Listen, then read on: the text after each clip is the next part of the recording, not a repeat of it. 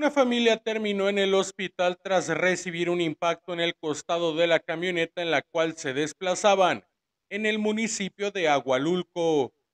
Los hechos se registraron en la carretera federal 63, justo en la entrada a la cabecera municipal, cuando elementos de la policía local recibieron el reporte de un accidente, por lo que de inmediato se trasladaron al sitio.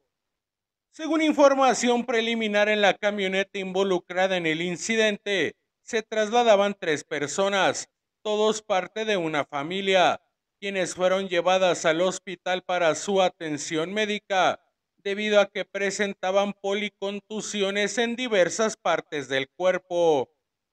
De acuerdo a información extraoficial, la camioneta se desplazaba con dirección a la entrada que conduce a la cabecera, cuando fue impactada en un costado, lo que originó que las personas sufrieran severos golpes al interior del vehículo, provocando su hospitalización inmediata.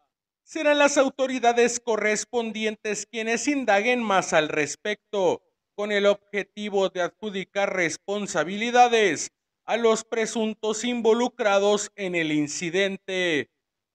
Jesús Valencia, corresponsal, zona altiplano, noticieros Canal 7.